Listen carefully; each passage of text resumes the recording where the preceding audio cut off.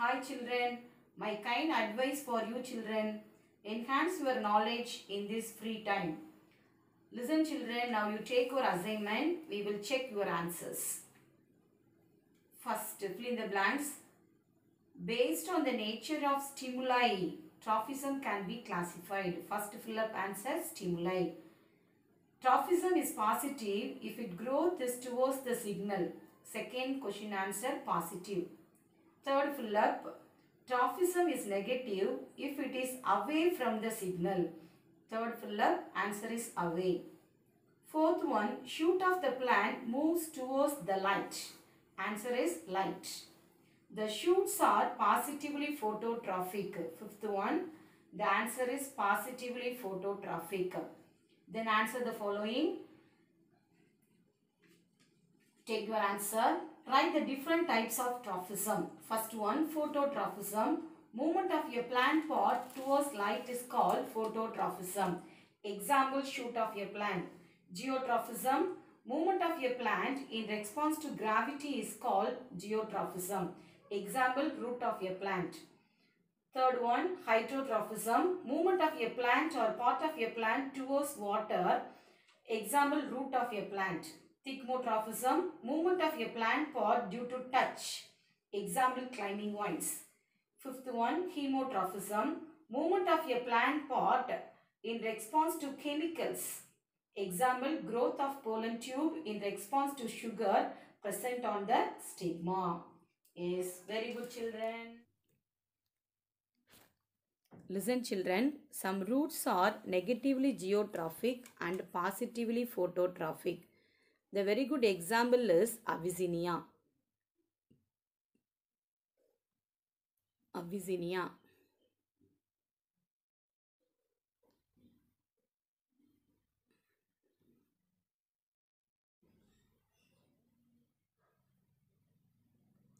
This plant grows in marshy places.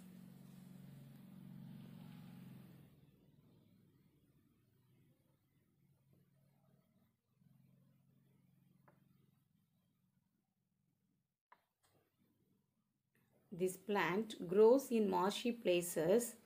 It does not get enough amount of oxygen. The root grows above the soil. The primary root grows below the soil. It grows deep into the soil. From the primary root, the roots are growing above the soil and they have force called pneumatophores.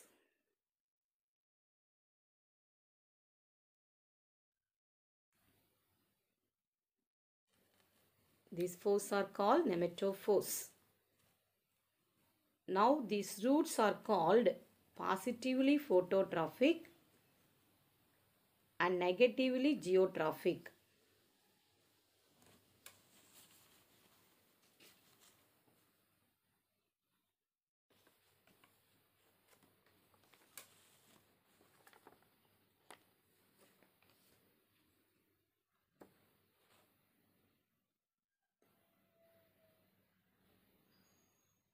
The first one is Avicennia.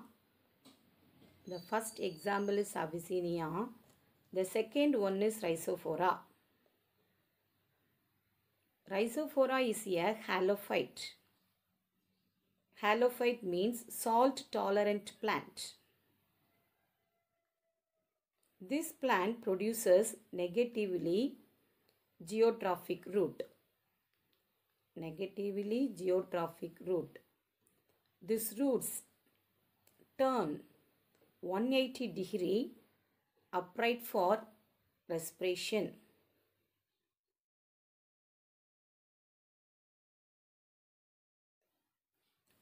These plants grow in places where oxygen is deficient.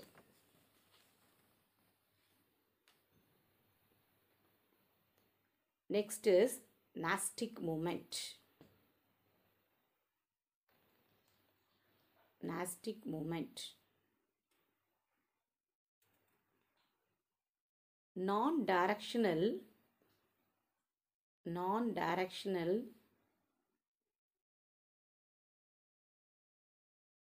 Nastic movement means non directional response of a plant. Response of a plant. Or part of a plant. Nastic movement means non directional response of a plant or part of a plant to stimulus.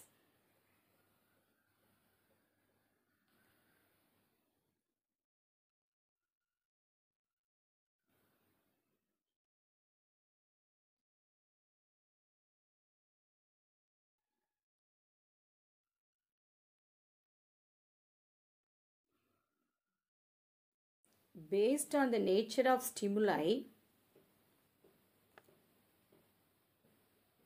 Nastic movements are classified into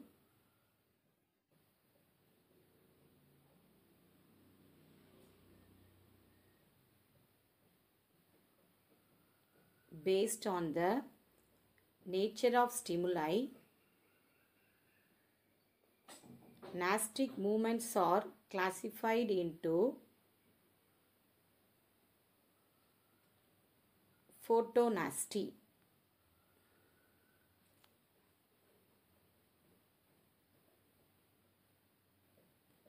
Movement of a part of a plant. Movement of a part of a plant in response to light. In response to light is called photonasty the movement of a part of a plant in response to light is called photonasty Example Taraxacum officinale. Taraxacum officinale.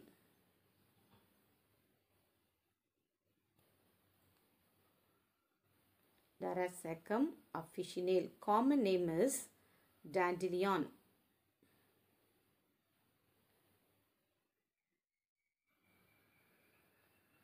It blooms in morning and closes in the evening. The dandelion flower blooms in the morning and closes in the evening. Blooms in morning and closes in evening.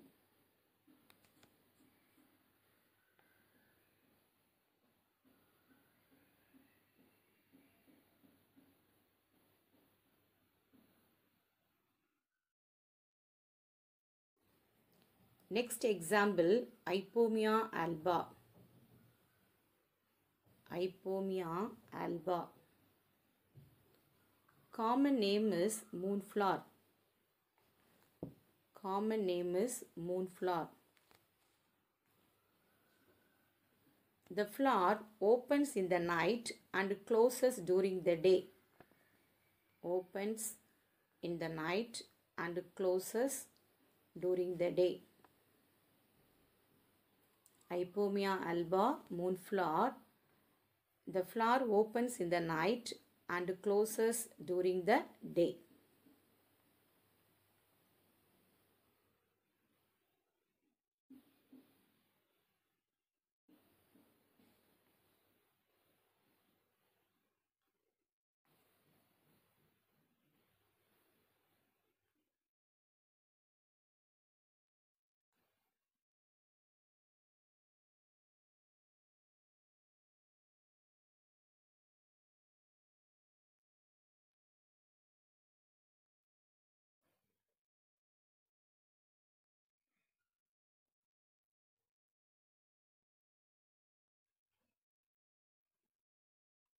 The flower opens in the night and closes during the day.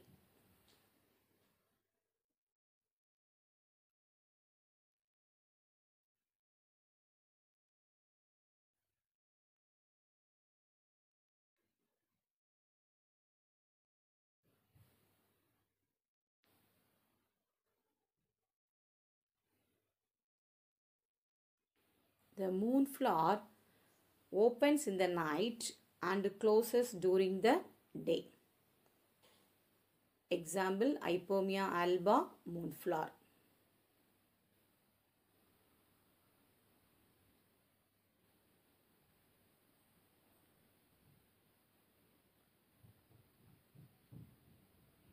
Next nastic movement is thigmonasty. Thigmonasty. Movement of a part of a plant in response to touch. Example Mimosa pudica. Mimosa pudica. Touch me not plant. Movement of a part of a plant in response to touch. Mimosa pudica is the example.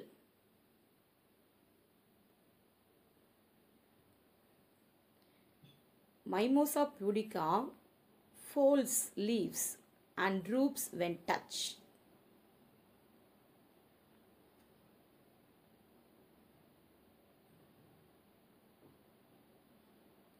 Mimosa pudica folds its leaves and droops when touched. It is also known as seismonasty.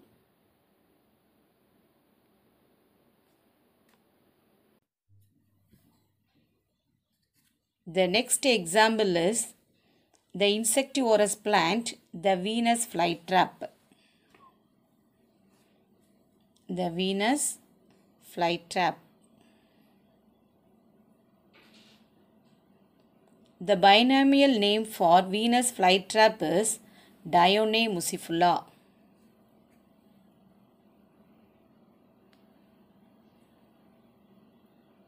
Dionaea muscipula. The lamina. Lamina means leaf. The leaf. The lamina means leaf. The lamina on each side of the midrib. The lamina on each side of the midrib is modified into a lobe. The lamina on each side of a midrib is modified into a lobe.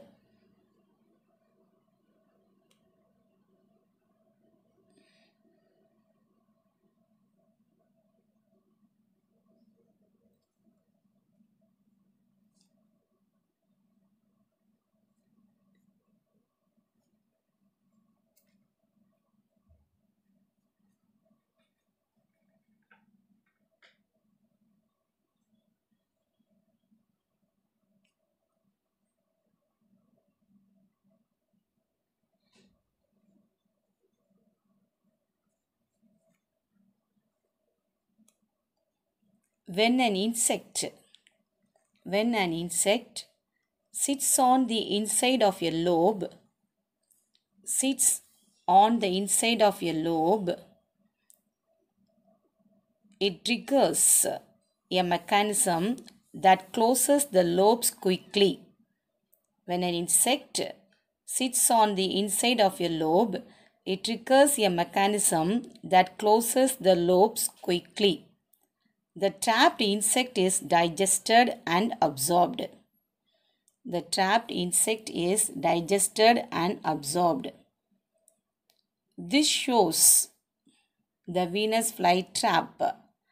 This shows one of the fastest movement. The lamina on each side of the midrib is modified into a lobe. When an insect sits on the inside of a lobe, it triggers a mechanism that closes the lobes quickly. The trapped insect is digested and absorbed. It shows one of the fastest movement. Next nasty. Next nastic movement is thermonasty. Thermonasty.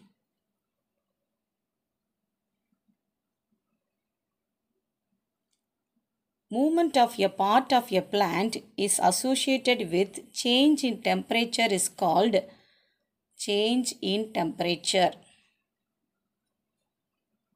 is called thermonasty. The movement of a part of a plant is associated with change in temperature is called thermonasty. Example Duliflas Duliflops Duliflas bloom as the temperature increases.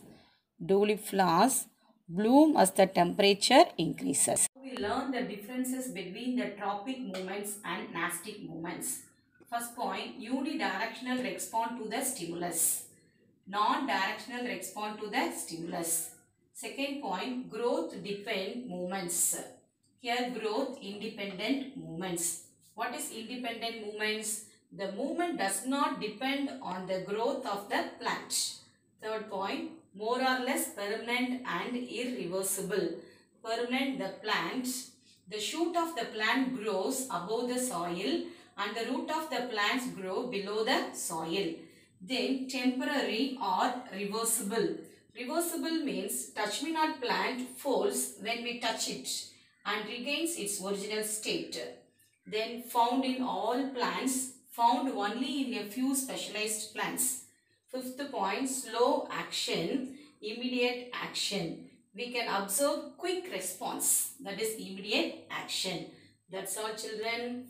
You study the differences between the trophic movements and nastic movements thoroughly and write it in your notebook. Thank you children.